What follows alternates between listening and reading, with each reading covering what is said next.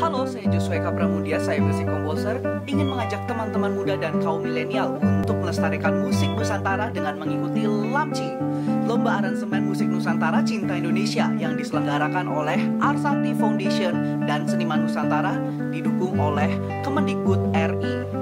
Lagu yang diaransemen adalah lagu Kolam Susu karya maestro Yokuswoyo. Cek syarat dan ketentuan lengkapnya di website lamci.id dan kumpulkan karya kamu sebelum 30 September 2020. Kami tunggu karyamu.